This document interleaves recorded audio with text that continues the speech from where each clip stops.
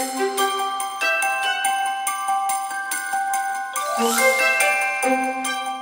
everyone, it's Nelda. Welcome back to my channel. Thank you for clicking this video. I hope you're all doing well.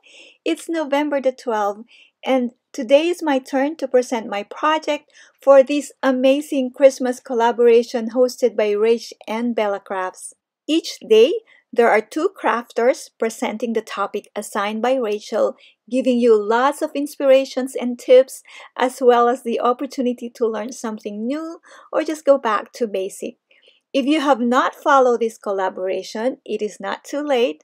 Just type hashtag ChristmasCraft Off 23 and you will find the amazing channels who already participated and I hope that you join us because this is a lot of fun and Rachel really worked hard to organize this, to put this together for you. There are wonderful prizes to be given away at the end of this collab. I believe over 50 fabulous prizes, meaning 50 chances to win. All you must do is watch all videos, interact by liking and commenting, and if you could please also subscribe to each channel. That will help us a lot. I am very happy to be partnered with Miss Angela Kerr today as I am a huge fan of Angela and we are presenting our interpretation or our take on recipe cards making memories. So my projects today are very simple, very easy and fun. They are quick to make, great for beginners, but if you are already a seasoned paper crafter, I hope that you still craft along and add your own twist, jazz it up to make it more exciting and more beautiful. For this collaboration, Rachel created amazing kits to use. I actually printed most of them and I already used them in my project. In fact, I created this one signature journal using her fabulous Christmas kits. I will be giving away this journal at the end of the collaboration. It is not in Rachel's first list of giveaways yet because I didn't think that I could finish one and I did not message her in time, but she is updating her list and yes, this journal will be in her new list of giveaways. So the projects that I will create with you today will embellish this Christmas journal and at the end of this video I will show you very briefly, very quickly how I incorporate these projects in the journal. Okay, so for the first recipe card, I will be using the following materials. A sheet from the kit and I chose the background page or the sheet from the background kit just because Rachel's um, pages are just all so beautiful and I don't want to cover them up. I also created recipe cards using canva.com. I have here also some fussy cut elements. These are from Rachel's fussy cut set. Her images are just gorgeous. So I already fussy cut most of the pieces and the edges are also distressed. I love each and every piece. These are just fabulous to add to any journal. I love her candle images. This is one of my favorites. And then I'll also be using ribbons and seam binding. Of course, glue. I'm using 3-in-1 and my Crop-A-Dile Big Bite Punch. So you can use your awl if you don't have this tool. Okay, so now that we have all the materials ready, what I'm going to do is glue down the pieces that I like to use and it's hard to choose because they're all beautiful, but I chose the gingerbread piece. I also like this set of candles, maybe right there. And there's this Santa Claus ephemera. And I think it looks good there as well. And let's see what else. Uh, the belly is also pretty. Okay so this can go at the back. This bell can go right there. And I think I'm missing something uh, a piece of fabric. Yes I can add this piece of fabric or trim right there make a cluster and add a gingerbread piece here. And maybe a stamp. Okay this looks very pretty right at the back there. Okay so yes I actually like how this looks so I think I can use all these elements here. What I am doing right now is just gluing down the recipe card to the base so it has ingredients methods prep time serves or how many servings. I forgot to add here cook time, but you can add that to your own recipe card and just like that. And this piece goes to the back. So let's tuck this in right there. And I think I need the bell or probably I like the candle set so I'll use this piece instead. And just like that. Told you this is a very easy project and very quick to make. Okay so I love these pieces here but I'm gonna stitch the fabric first and I'll be right back Alright, so this is stitched already and we can add the gingerbread piece and this stamp just like that. If I had ready-made clusters or ephemera then I could finish this project more quickly but I don't mass make anything so that's why my projects take a little bit longer to complete but I find this is fun and I hope that you're crafting along I hope that you are enjoying this collaboration, that you're watching all videos because every video is fabulous. I have not missed anything yet. I have not commented on most of the videos, but I watch everything. I watch every day. and I will watch again and comment on each and every video. So I hope that you do the same thing.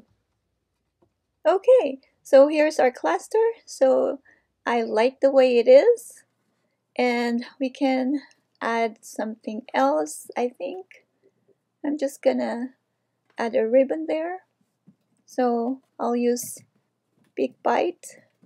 Again, if you don't have this tool, you can use your awl, you can use any poking tool. And then this ribbon is very pretty, so this is what I will use here. Not very bright red, but it's um, like a darker kind of vintage red. okay, and we will just make a bow. Now, I don't mind the stitches there because I could cover it with lined paper or another paper from Rach and Bella Crafts kit. If you don't have ribbons, you can use cords or embroidery threads, whatever you have at home. Okay, so let's make this prettier. Cutting the end there. And I think I like how this looks. There you go. Very, very simple recipe card. Blank on the back for additional writings and you can add ribbons on the bottom there. You can add lace. You can really beautify this simple project. For now, I will leave the back just like this. Here's another example. I have here 25 using my Dymo Express and the tag is from Rachel's Kit, Snowman as well. This is another example where I used cords instead of ribbons. So let's find a home for these pieces. I think I can put it right there. This can embellish this page just like that. And this can go in this page. There you go. So very easy embellishments. Okay, what if you don't have that recipe card, the same that I created using canva.com? So what we're going to do is make another simple project and using a sheet again from Rach and Bella Crafts, pair of scissors, and lined paper. So same idea, we are going to glue down this piece or this lined paper to the base. And I do not want to use the edge. You can to add a little bit of uh, texture maybe but I am going to use this uh, deckled pair of scissors. And sometimes it's hard to to use this pair of scissors especially if the sheet that you're cutting is very thin I could use an index card but I don't have it handy at the moment so let's do this. Okay kind of still need to be trimmed down a bit. All right. So same idea. We are also going to add a um, few pieces fussy cut pieces and then I think I am also going to use ribbon or seam binding. So let's distress the edges first. There you go. So I'm just choosing the elements to use here. I like that leaf that candle. There you go. I love the candles. And piece of fabric again. I think I'm gonna stitch it to the side and there you go.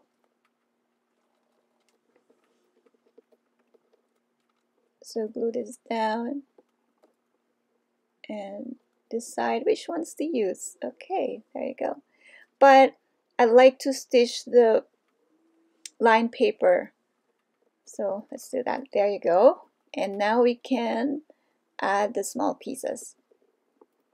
When I craft, I don't really overthink it. I just go with the flow.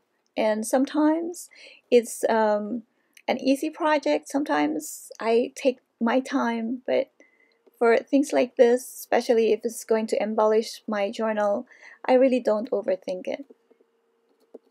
I am going to add eyelets, so this is gold tone eyelets. I decided to add the ribbons to the bottom part just to make it look a little bit different from the first recipe card. But it's all up to you if you want to add the ribbons up top that's alright as well. And I am using seam binding. I think it's very pretty. Using my Dymo Organizer Express I will create the word recipe. And this is one of my favorite tools when making labels very easy to use. Just turn the dial or the wheel to the desired character.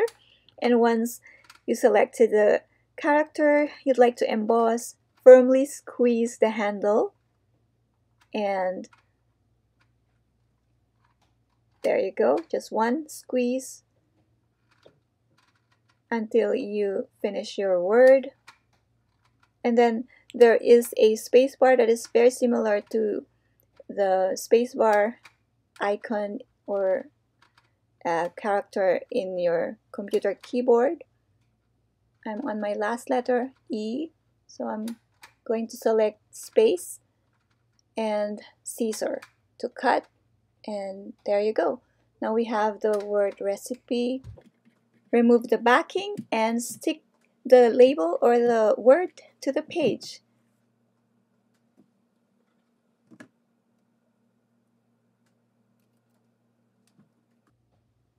Just like that. There you go. This is a very simple recipe card another version and then the back I can cover all the stitches with lined paper. This is another example.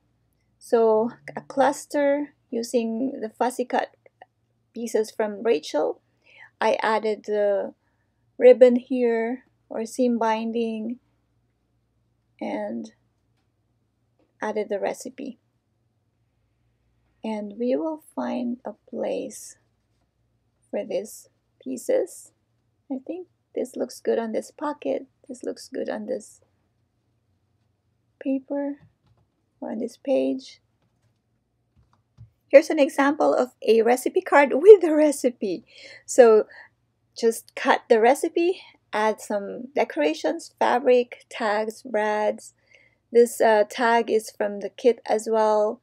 Added the Christmas button, the picture of the food, of course the recipe, and the Fussy Cut snowman. The back is decorated with lace and beautiful page from the kit and I could decorate the bottom as well. Here is a blank card where I can write the recipe and this is from Rachel's beautiful page and this again is from the one that I created using canva.com blank on the back for more writing another color. So just more recipe cards. So let's put them on this page. This looks good on this pocket. Just like that. And I think this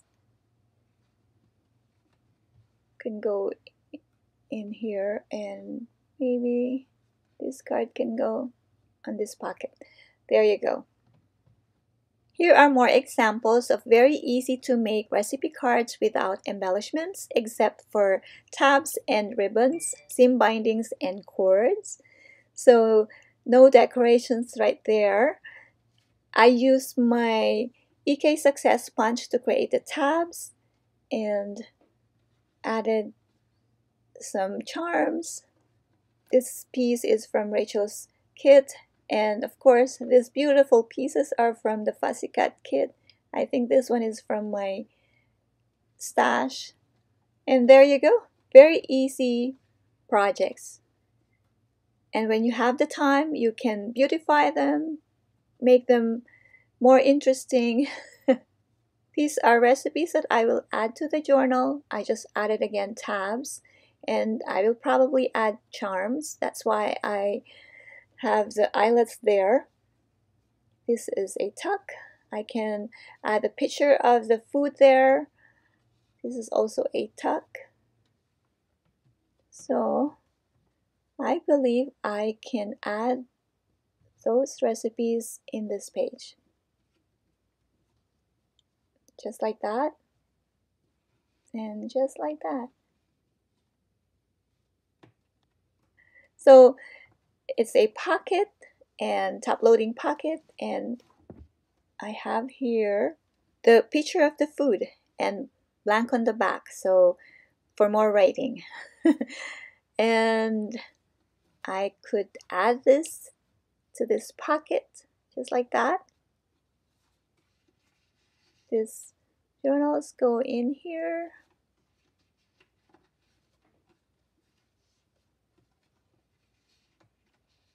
So I would say this is a recipe or Christmas recipe journal or recipe Christmas journal. um, probably not both of them on this pocket. Okay, so maybe this can go on this page. Yeah, I like it. Next, I have here an envelope that Rachel provided and I added the policy closure and buttons there. And I am going to fill this with very, very simple cards. So I'm going to use this small index cards and this has to fit inside. So let's trim this down. And I'm not measuring. I don't really measure, kind of eyeball everything. And so I'm going to use my um, I'm using my other favorite tool which is a corner rounder. This is a leftover piece. I love this girl and the Noel so I'm going to use that portion and let's glue down this index card. So you can decorate this after but I am not going to. I'm just showing you how to maybe fill an envelope with some cards of course just fussy cutting and I'm going to also distress the edges to jazz up these pieces, you can add buttons, you can add uh, other fussy cut images, uh, ribbons, trims, but I'm not going to. I am just simply distressing the edges and they will all go inside this envelope. This could be small recipe cards, this could be any type of journaling card. So this is nice as part of a happy mail or just also an insert or an embellishment for a journal, but very simple, very simple to do. So just like that. This is also a small envelope from Rachel and see I have here line papers for more journaling and for more recipe writing. and I love all these images really. So for closure, I'm going to add this uh, cord or thread and we are going to just wrap this around and maybe tie a little bow.